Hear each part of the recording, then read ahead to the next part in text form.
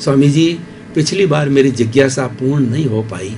उसी जिज्ञासा को मैं आगे बढ़ा रहा हूँ कि बहुत से धर्म दर्शनों ने और मनोवैज्ञानिकों ने स्वयं ने तीन तरह के मन बताए हैं। वो है चेतन मन, दूसरा अवचेतन मन और तीसरा अचेतन मन। और ये अब ये तीनों तरह के मन हैं और आप ज्ञाता दृष्टा की बात करते हैं कि ज्ञाता दृष्टा ही पूरे शरीर को संचालन करता है और तीनों तरह के मन भी इसी शरीर के अंदर है। तो कृपया हमें बताएँ इस तीनों तरह के मन के बारे में आर्ट ऑफ़ विजन की क्या अवधारणा है? हम्म।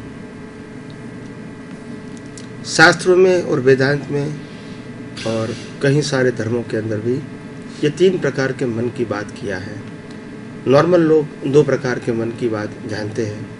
जैसे जैन धर्म में बताया है कि द्रव्य द्रव्य मन और भाव मन और आम जनता भी जानते हैं कि एक मन स्थूल है और दूसरा सूक्ष्म है। ये दो मन को तो लोग जानते हैं मगर तीसरे मन को नहीं जानते हैं। स्थूल मन सूक्ष्म मन और तीसरा है सुसुप्त मन। तो स्थूल मन क्या है सूक्ष्म मन क्या है और सुसुप्त मन क्या है? स्थूल मन का हो, मतलब होता है जो मन अपने आप विचार करता रहता है इसमें हमारी स्वतंत्रता नहीं है। आते ही रहते हैं, जैसे रिकॉर्ड किया है और प्ले होता है, ऐसे विचारों की श्रृंखला हर समय हम सोचे या न सोचे, ध्यान रखें या न रखें, विचार की परंपरा चालू रहती है, स्थूल मन है। दूसरा है सूक्ष्म मन। सूक्ष्म मन का नाम है द्रव्य मन और भाव मन है सॉरी सूक्ष्म मन का मतलब होता है भाव मन और स्थूल मन का मतलब है द्रव्य मन तो भाव मन क्या है? भाव मन का मतलब होता है चार्ज मन। चार्ज का मतलब होता है नए कर्मों को चार्ज करना। तो नए कर्मों को चार्ज करने के लिए भाव मन है।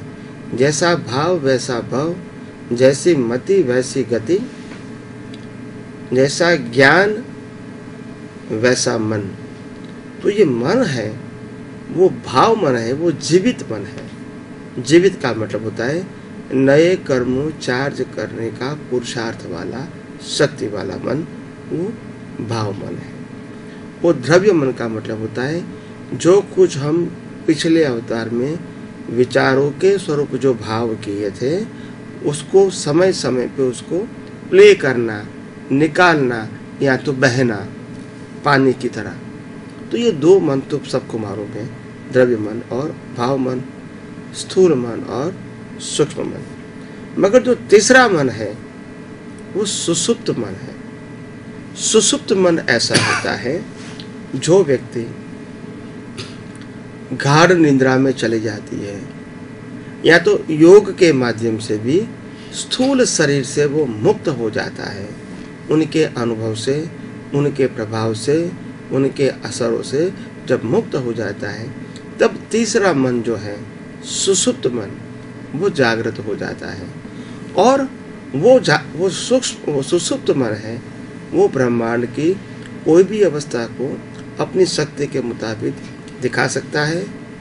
या तो मन वचन काया से वो अलिप्त रह सकता है, या तो कोई सिद्धि या शक्ति भी प्राप्त करवा सकता है।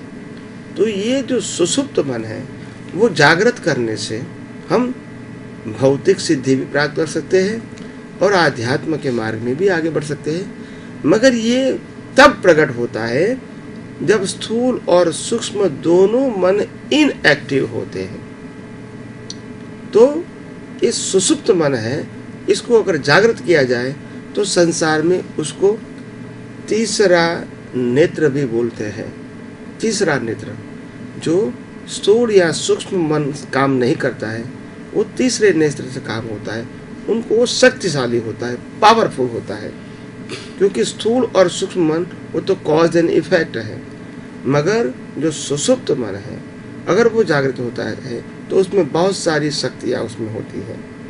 तो इसीलिए ये तीन प्रकार के जो मन है वो सही मन है, वास्तव में सही बात है, गलत बात नहीं है, सैद्धांतिक बात है, और तीनों प्रकार के मन का रोल अलग अलग है। एक भाव मन है, वो चार्ज मन है, द्रव्य मन है, वो डिस्चार्ज मन है, और सूक्ष्म मन है। वो सुसुप्त मन को हम जागृत करके सिद्धि, शक्तियाँ भी प्राप्त कर सकते हैं, और आत्मा आत्मा का आनंद जो है, वो आनंद संसार की मुक्ति, संसार की भावनाओं के अभाव का आनंद भी हम प्राप्त कर सकते हैं। ये सुसुप्त मन से जागृत करके।